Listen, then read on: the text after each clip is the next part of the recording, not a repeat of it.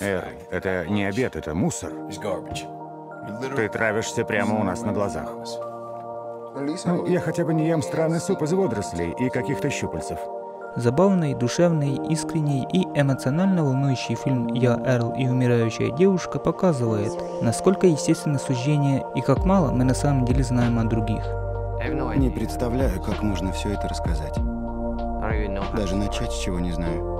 Главный герой и рассказчик Грег классифицирует своих одноклассников, относя их к разным группам. И Грег не хочет присоединяться ни одной из них, потому что не хочет никаких проблем. Он излагает свою философию в начале фильма, говоря, «В типичной школьной жизни вы принадлежите к одной группе, но я думал, что нашел выход – получить признание в каждой из них. Поддерживайте сдержанные хорошие отношения со всеми так, чтобы это было незаметно для всех остальных». Его заявление показывает, что разделение других на разные группы типично, то есть естественно. Чтобы разделить своих одноклассников на эти группы, Грегу сначала пришлось их судить.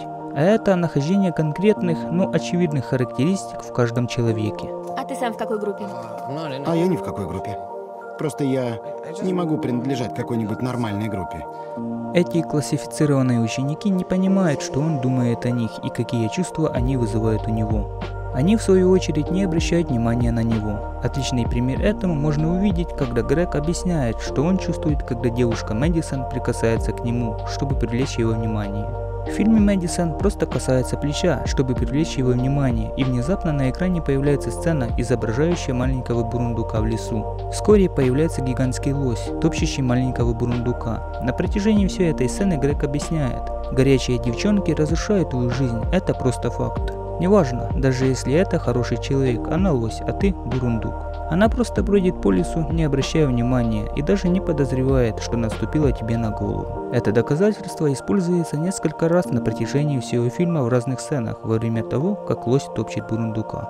В последний раз, когда показана данная сцена, Грег обвиняет Мэдисон в том, что она прикоснулась к нему. Она протягивает руку и касается его плеча. Он говорит ей, «Позволь мне спросить тебя кое о чем. Что это?» Ты просто проявляешь дружелюбие или это какой-то расчетливый маневр, чтобы заставить меня делать все, что ты хочешь.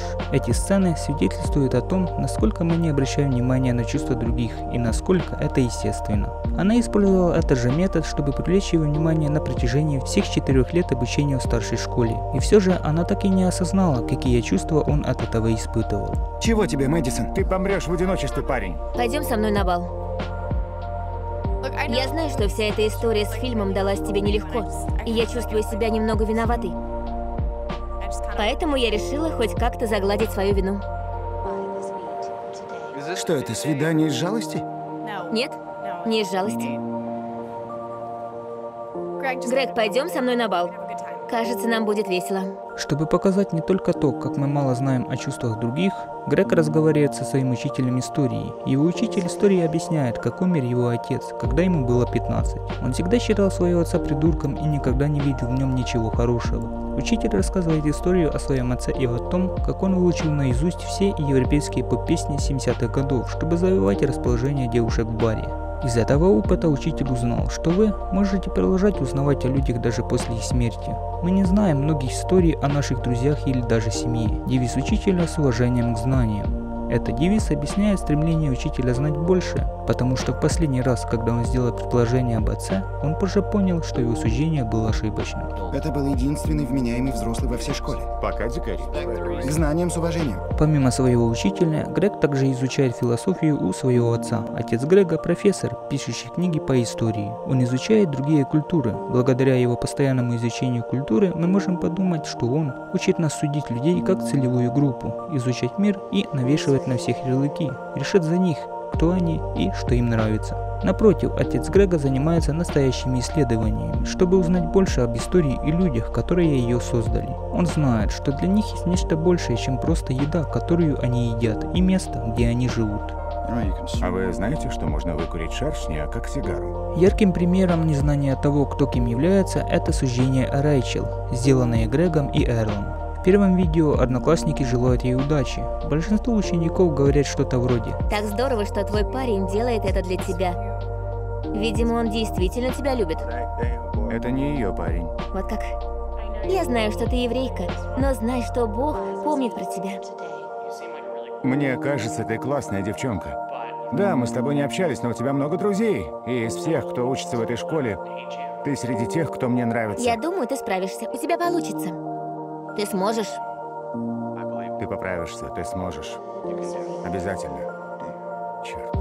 Люди быстро делали предположения, складывая воедино совпадающие фрагменты. После смерти Рэйчел Грег узнает о ней гораздо больше, обнаружив, что она не просто скучная еврейская девочка из подгруппы 2А. Даже после 209 дней, которые он провел с ней. На похоронах Рэйчел ее мать дает Грегу каталог колледжа, который он ранее подарил ей.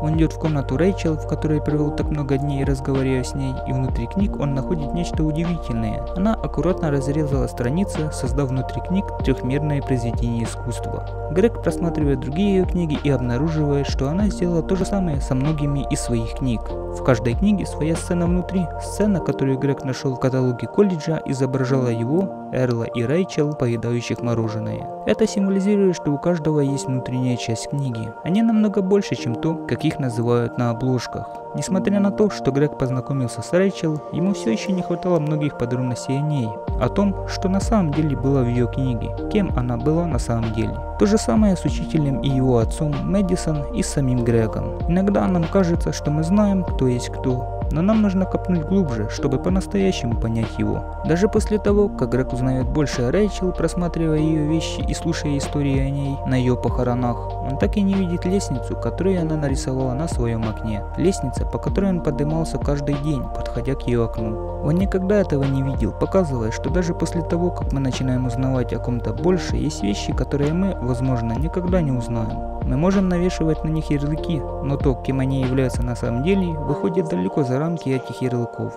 Сцены из фильма дают множество примеров суждений, но даже главные герои представляют собой стереотипы. Три главных героя представляют собой три разных стереотипа. Белый социально неуклюжий ботан Грег, бедный чернокожий подросток Эрл и еврейка Рэйчел. Эти трое друзей представляют стереотипы, распространенные в мире.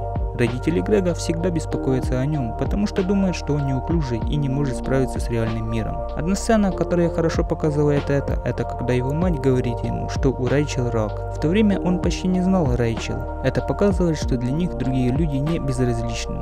И тот факт, что его мать заставляет его пойти и поговорить с ней не из-за Рэйчел, а потому, что она хочет, чтобы он был общительным и добрым. Она пытается преподать ему жизненный урок. В отличие от Грега, родители Эрла так и не были показаны, но несколько раз показаны его дом и брат. Он живет не в лучшем районе города, а его брат – гангстер с огромным питбулем.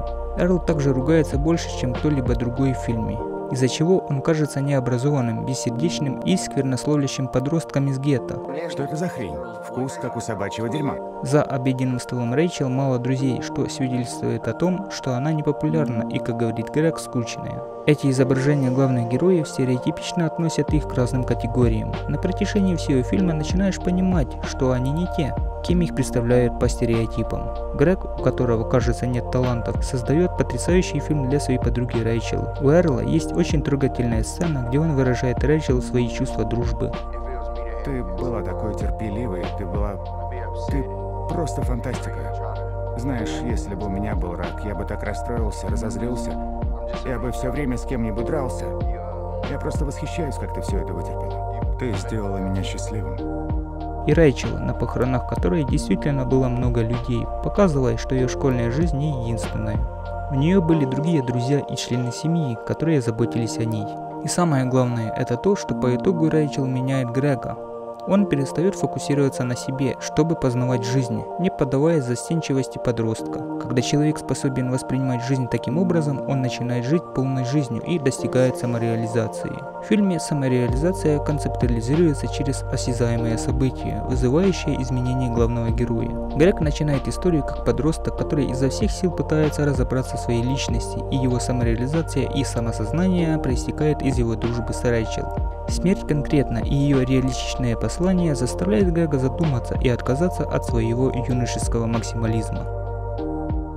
Уважаемая приемная комиссия Университета Питтсбурга, я пишу вам от имени человека, который отдал мне полгода своей жизни, как раз тогда, когда я оказалась в самой сложной жизненной ситуации. Он очень невысокого мнения о себе, поэтому я посчитала нужным, чтобы вы узнали о нем от того, кто может видеть его со стороны. Это бесконечно милый, добрый, щедрый и бескорыстный человек. даже если он сам это отрицает. Его неуспеваемость в этом году является следствием того, что все свое время он проводил со мной, хотя для него это было непросто. Вы можете спросить его об этом, но, скорее всего, его заниженное самомнение не позволит ему сказать правду. Никому, кроме него, не удавалось заставить меня улыбаться так часто. И никому уже не удастся.